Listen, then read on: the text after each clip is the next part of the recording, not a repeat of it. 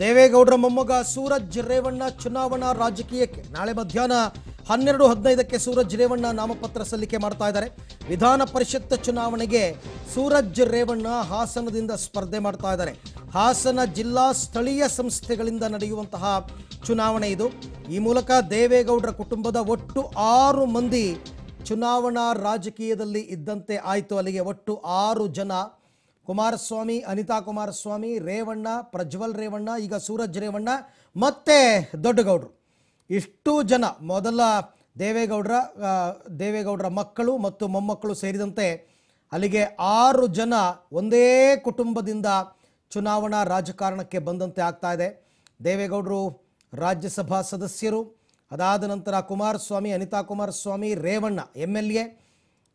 Prajwal Revanna M P ಈಗ Suraj Revanna M L C ಈ ಬಗ್ಗೆ ಮತ್ತಷ್ಟು ಮಾಹಿತಿ ನನ್ನ ಕೊಲೀಗ್ ಸಂತೋಷ್ ಅವರಿಂದ ಪಡ್ಕೊಳ್ಳೋಣ. ಸಂತೋಷ್, ಈಗ ಘೋಷಣೆ ಇನ್ನೂ ಕೂಡ ಅಧಿಕೃತವಾಗಿ ಬಾಕಿ ಇದೆಯಾ? ಏನು ಹೇಳ್ತಾರೆ ಈಗ ರೇವಣ್ಣ ಅವರ ಕುಟುಂಬದವರು? ಏನು ಮಾಹಿತಿ ಇದೆ?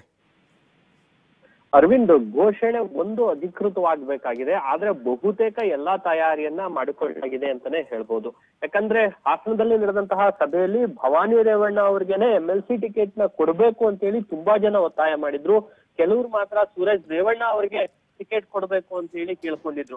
ಒಟ್ಟಾರೆ ಭವಾನಿ ರೇವಣ್ಣ ಅಥವಾ ಸೂರಜ್ ರೇವಣ್ಣ ಇಬ್ಬರಲ್ಲಿ ಒಬ್ಬರಿಗೆ ಬಹುತೇಕ ಟಿಕೆಟ್ ಖಚಿತ ಅನ್ನೋದಿತ್ತು.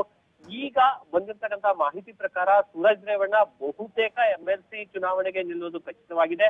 ನಾಳೆ ಅವರು ಹಾಸನದಲ್ಲಿ ನಾಮಪತ್ರ ಸಲ್ಲಿಕೆಯನ್ನು ಕೂಡ ಸಲ್ಲಿಸಲಿದ್ದಾರೆ ಅಂತಕ್ಕಂತಹ ಮಾಹಿತಿ ಲಭ್ಯವಾಗಿದೆ, ಅರವಿಂದ್. ಈಗ ಈ ತೀರ್ಮಾನ ಯಾರು ತಗೊಂಡಿದ್ದು? ಭವಾನಿ ರೇವಣ್ಣ ಅವರಿಗೆ ಕೊಡಬೇಕು ಟಿಕೆಟ್ ಅಂತ ಇತ್ತು, ನಂತರ ಸೂರಜ್ ಅವರಿಗೆ ಆಯ್ತು ಇದು ಇದು ಯಾರು ನಿರ್ಧಾರ ಅಂತ, ಸಂತೋಷ್?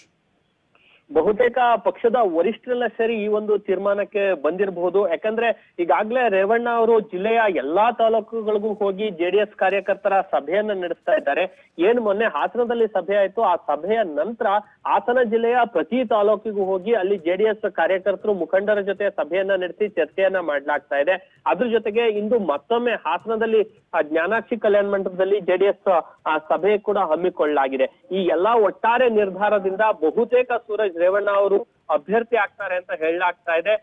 ಇನ್ನು ಅಧಿಕೃತ ಘೋಷಣೆಯೊಂದೇ ಬಾಕಿ ಉಳಿದಿದೆ ಅಂತಾನೆ ಹೇಳ್ಬೋದು Arvind. Okay thank you Santosh, ತಮ್ಮ ಎಲ್ಲ ಮಾಹಿತಿಗಾಗಿ ಧನ್ಯವಾದ. ಇದು ಇನ್ನೇನು ಪರಿಷತ್ ಚುನಾವಣೆ ಬರ್ತಾ ಇದೆ. ಬಹುತೇಕ ಮೂರು ಪಕ್ಷಗಳ ಅಭ್ಯರ್ಥಿಗಳು ಇವತ್ತು ಫೈನಲ್ ಆಗ್ತಕ್ಕಂಥ ಸಾಧ್ಯತೆ. ಅದರಲ್ಲಿ ಜೆ ಡಿ ಎಸ್ನಿಂದ ಹಾಸನ ಸ್ಥಳೀಯ ಸಂಸ್ಥೆಗಳಿಂದ ನಡೀತಕ್ಕಂಥ ಚುನಾವಣೆಗೆ ಸೂರಜ್ ರೇವಣ್ಣ ಅಭ್ಯರ್ಥಿ ಅಂತಕ್ಕಂಥದ್ದು ಕನ್ಫರ್ಮ್ ಆಗಿದೆ. ಈ ಮೂಲಕ ದೇವೇಗೌಡರ ಕುಟುಂಬದ ಒಟ್ಟು ಆರು ಮಂದಿ ಚುನಾವಣಾ ರಾಜಕೀಯದಲ್ಲಿ ಇದ್ದಾರೆ.